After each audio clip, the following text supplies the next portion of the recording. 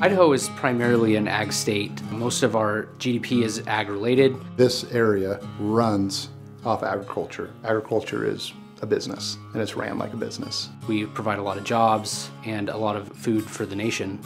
Farmers definitely are wearing a lot of hats today. They're bankers, they're botanists, they're environmentalists, they're mechanics. Farmers are under tremendous stress. The governments are asking them to do more with less.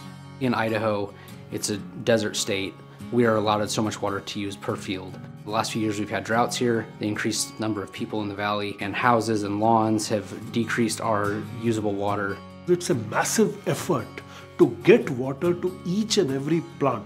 There's a lot of drive to be better stewards of what we have.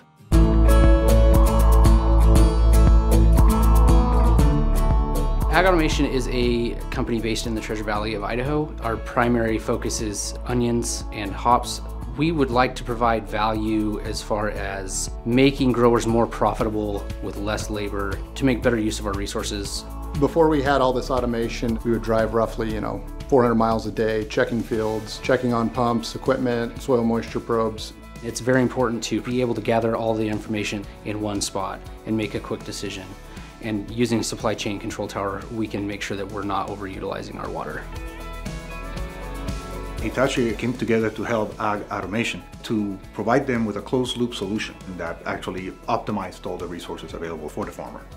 Supply Chain Control Tower is one more component of Lumada operational and manufacturing insights. Supply Chain Control Tower pulls in moisture sensor data from different depths in the soil and we can generate irrigation plans based on crop usage throughout time. Moisture sensors tell the VFDs how much water we need to kick on and off, and then the weather stations are giving us temperature and our ET value, which is evapotranspiration. That tells us how much water we're losing through solar radiation and crop use, and then it ties together any precipitation events to predict our future water use.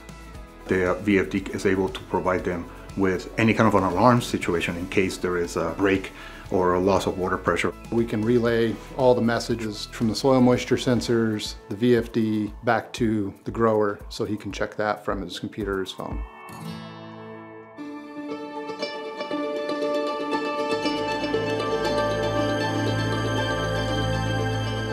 Supply Chain Control Tower is a nerve center. They create actionable insights out of this humongous deluge of data accessible anywhere, anytime by any actor in the entire value chain of any supply chain where it is implemented. We're trying to create platforms that solve immediate concerns, to labor savings and reduce carbon emissions, but also be able to expand and grow. Supply chain control tower and the VFDs that Hitachi has provided have allowed us to put all of our information into one system and quickly make decisions. It also allows for better crop growth. We provide a better product. It's more consistent. At the end of the day, water is king out here. The more we can save, the more we can use. We're making sure we're putting each drop of water on the plant. Ag automation is doing a great service, not just to the onion growers of Idaho, not just to America, but to the entire world.